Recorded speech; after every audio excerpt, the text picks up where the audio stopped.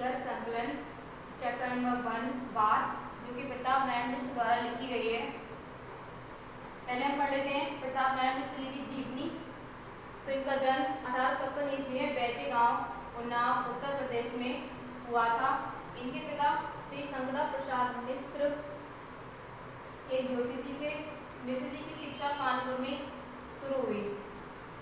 ऐसे ही इन्होंने अपनी पढ़ाई को आगे बढ़ाया और कुछ कृतियों का उल्लेख किया और कुछ कृतियाँ लिखी हैं। जैसे बात जो हम यहाँ पढ़ेंगे, बुढ़ापा तार हटियमी हटियमी इनकी एक फ़ेमस एक प्रसिद्ध कृति है और भारत दुर्दशा। उन्होंने इसमें भारत के बारे में लिखा है और उन्होंने बहुत सारी कृतियाँ लिखी, बहुत सारी कहानियाँ लिखी हैं।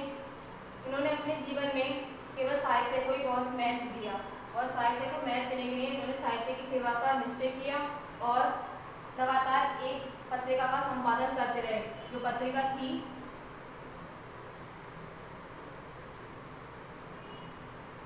ब्राह्मण, जो इनकी सबसे प्रसिद्ध पत्रिका थी।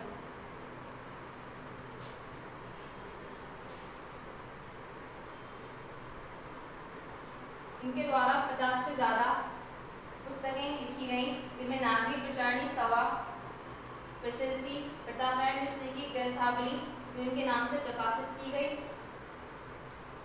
तो ये इनका बायोडाटा यानी इनकी जीवन, इनका जीवन परिचय और नेक्स्ट में हम इनकी कहानी पढ़ेंगे बात इसमें बहुत सी बातों का वर्णन किया गया है। बात मीन्स इसमें बीमारी का वर्णन किया गया है। और बात जो हमारा बोलने का तरीका के बात को कहने का तरीका होता है, उसका उल्लेख किया गया है। तो अभी हम इसे कंप्लीट करेंगे। और उसके बाद नेक्स्ट में बात पूरा चैप्टर रीड करेंगे और उसके क्वेश्चन आंसर करेंगे।